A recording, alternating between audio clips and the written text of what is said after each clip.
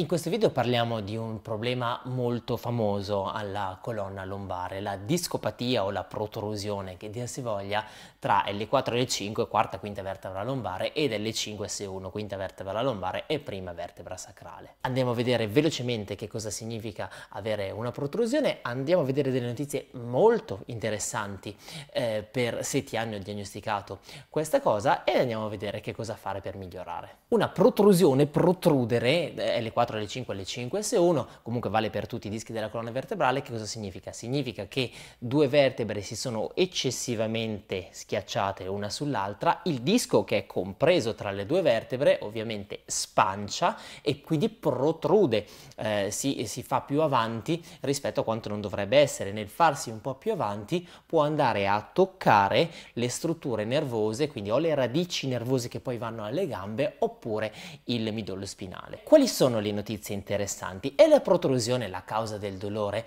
Mm, difficilmente, c'è una debolissima associazione tra protrusione discale e dolore per un semplice motivo. Se vai a fare una lastra, una risonanza a 100 persone sopra i 25 anni, che non hanno mal di schiena, la possibilità di trovare una protrusione oltrepassa tranquillamente il 70% in persone che non hanno mal di schiena e la percentuale aumenta mano a mano che aumenta l'età.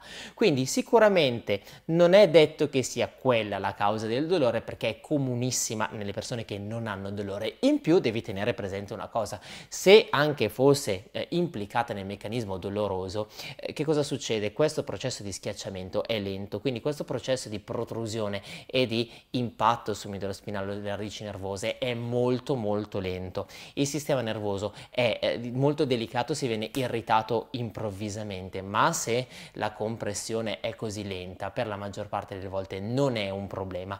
Quindi attenzione attenzione, puoi avere mal di schiena, puoi avere una protrusione, ma non è detto assolutamente che la protrusione sia la causa del tuo mal di schiena. E quindi questo è importante perché non devi vivere con il pensiero costante che non puoi fare alcune cose perché ti hanno trovato delle problematiche alla schiena. Non è assolutamente così puoi fare una serie di cose per migliorare il tuo mal di schiena e puoi stare benissimo anche in presenza della protrusione. Quindi che cosa fare se ti hanno trovato questo tipo di problema che come hai visto forse tanto problema non è? Quindi prima di tutto niente panico perché è un problema molto comune, ce l'hanno più o meno tutti, anche persone che non, non hanno dolore, si può stare benissimo.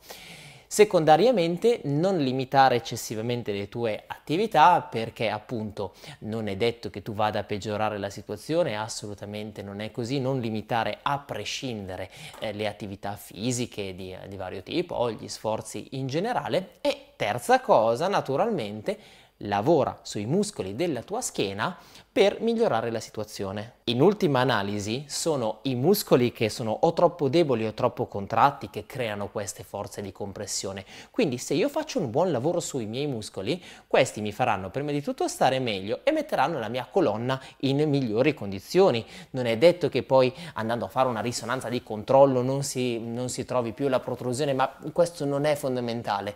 Quello che ci interessa è che i nostri muscoli siano nella miglior condizione possibile. Se i nostri muscoli sono nella miglior condizione possibile, possibile, sono sicuro che posso fare quello che voglio senza avere dolore. Un esercizio semplice, ma molto molto semplice, può essere questo, mi metto dietro, eh, mi metto con la schiena contro un muro, allungo piano piano le gambe e controllo quanta tensione ho.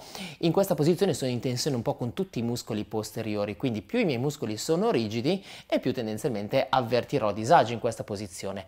Mantengo questa posizione per 2 o 3 minuti respirando lentamente con la pancia. Se sono in tensione eccessiva mi sposto un po' in avanti con il sedere fino a raggiungere un punto di tensione accettabile, diciamo su una scala da 0 a 10, una, una tensione che puoi valutare 6. Quindi anche se ti hanno trovato delle protrusioni o anche delle ernie discali, il lavoro sui muscoli funziona benissimo. L'esercizio che ti ho mostrato è un esempio, altri esercizi li trovi sulla mia guida mal di schiena passo dopo passo che è attualmente disponibile in forma di eh, demo gratuita, quindi la puoi scaricare con il link allegato al post. Per altre informazioni vai sul mio sito latrareabilitazione.it dal quale puoi anche contattarmi. Ciao e alla prossima!